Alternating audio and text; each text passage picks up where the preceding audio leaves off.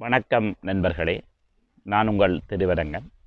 இன்றைக்கு நான் சொல்ல போகிற சிந்தனை என்னென்றால் நீங்கள் எதிர்காலத்தில் ஒரு தொழிலதிபராக வர விரும்புகிறீங்களா உங்களோட பிஸ்னஸில் சக்ஸஸ்ஃபுல்லாக இருக்க விரும்புகிறீங்களா ஸோ நீங்கள் என்ன செய்ய வேணும்? திருக்குறளை படிக்க வேணும். திருக்குறளில் வள்ளுவர் சில சிந்தனைகளை அழகாக பதிவு செய்கிறார் ஒரு முதலாளி எப்படி இருக்க வேணும்? ஒரு தொழிலாளி எப்படி இருக்க வேணும்? என்றெல்லாம் மிக அருமையான சிந்தனைகளை சொல்கிறார் நம்ம வீட்டுக்கு வர வேலைக்காரன் நம்ம கம்பெனிக்கு வர வேலையா வேலைக்காரன் தொழிலாளி எப்படி இருக்க வேணும் சொல்லுங்க. நீங்கள் என்ன எதிர்பார்க்குறீங்க? உங்களோட வேலைக்காரன்ட்ட நீங்கள் என்னத்தை எதிர்பார்க்குறீங்க?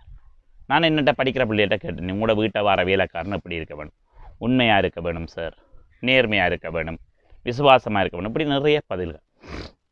நீங்கள் என்ன எதிர்பார்க்குறீங்க? பொதுவாக இன்றைய சமூகத்தில் இந்த முதலாளிகள் நம்மளோட தொழிலாளிகள்கிட்ட என்ன எதிர்பார்க்குறாங்க நான் சிம்பிளாக சொல்லட்டேன் எங்களோட வேலைக்கு வர வேலையால் என்ன எதிர்பார்க்குறாருன்னு நான் சிம்பிளாக சொல்லிட்டேன். இவ்வளவுதான். அதாவது மூடிட்டு சொல்கிறத செய்ய வேண்டும்.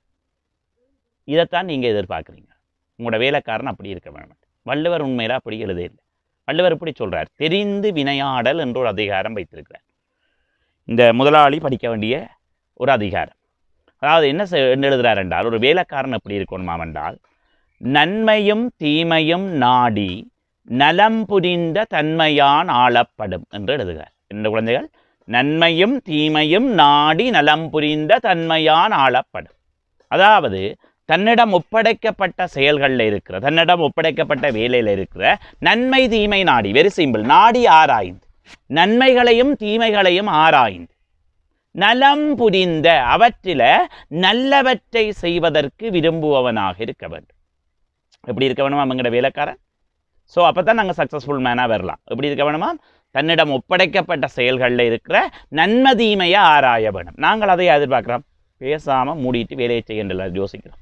நன்மை தீமையை ஆராய்ந்து நல்லவற்றை செய்வதற்கு விரும்புவவனாக செய்யாட்டிலும் பரவாயில்ல நல்லவற்றை செய்கிறதுக்கு விரும்புவவனாக இருக்க வேண்டும் என்று வள்ளுவர் எழுதுகிறார்.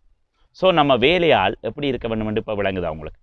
ஸோ அவர்கள் ஏதாவது சொன்னால் அதை கொஞ்சம் கேளுங்க. உடனே தெரியும் எனக்கு. என்று நாங்கள் கூட சிலவள் என்ன செஞ்சிடலாம்? தவறாக செய்து சொல்லிடலாம். சிலவள் அது எங்களுக்கே இடியா வந்த இறங்கு. ஸோ எங்களோட வேலையால் நன்மை தீமையை ஆராய்ந்து நல்லவற்றை செய்வதற்கு விரும்புவனாக இருக்க வேண்டும். அருமையான சிந்தனையாக இருந்தால் மற்றவர்களோடும் பகிர்ந்து கொள்ளுங்கள். நன்றி வணக்கம்.